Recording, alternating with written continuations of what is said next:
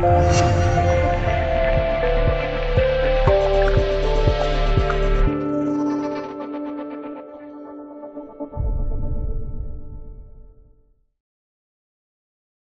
要：早上好，今天是七月八日。上官早读为您带来昨夜今晨全球要闻资讯，同时给您推荐今日上海解放日报版面精粹。今日聚焦：美国悍然推高关税，正在重蹈历史覆辙。今天出版的《人民日报》刊发评论员文章：美国贸易盲动症注定引火烧身。文章说，从哈雷戴维森摩托车公司逃离行动。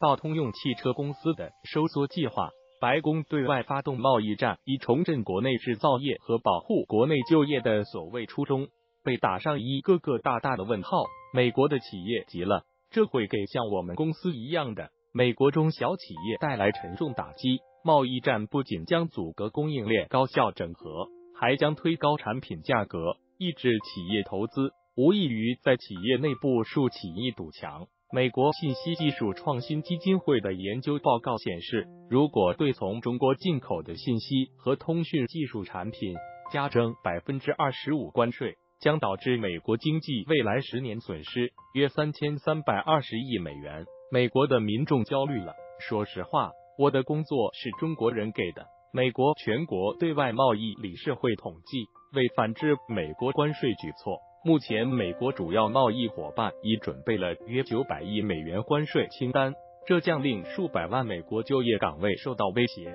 美国的农民不干了，我们需要继续同中国做生意，而不被这些关税措施所干扰。贸易战开打后，每吨贵了约六百元人民币的美国大豆失去价格优势，在中国市场难寻买主。美国大豆协会预计。贸易战将使今年美国大豆产值减少六十亿美元。文章指出，贸易战没有赢家。